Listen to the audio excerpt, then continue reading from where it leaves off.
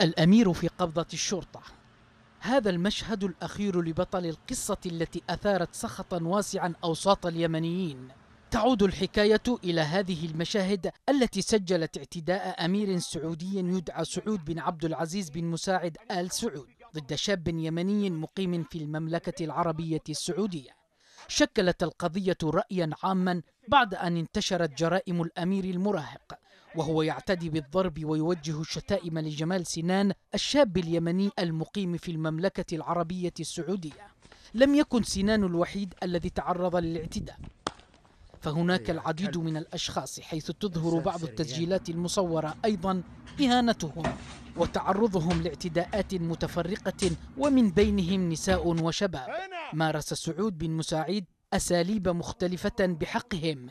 عزز التفاعل في القضية بعد أن سجل جمال سنان توضيحا مصورا طالب إنصافه كما شرح في حسابه على موقع التواصل الاجتماعي تويتر ملابسات الحادثة. نتعرض للإهانة والضرب والقتل من قبل أمير في المملكة العربية السعودية في حي الفلاح. يحسب لجمال سنان الذي بدا ملطخا بدمه أنه سجل مناشدة على العكس ممن صمتوا وهو ما جعل السلطات تستجيب لنداءاته وأصدر الملك السعودي قرارا يقضي بإلقاء القبض الفوري على الأمير الصغير وإيداعه السجن.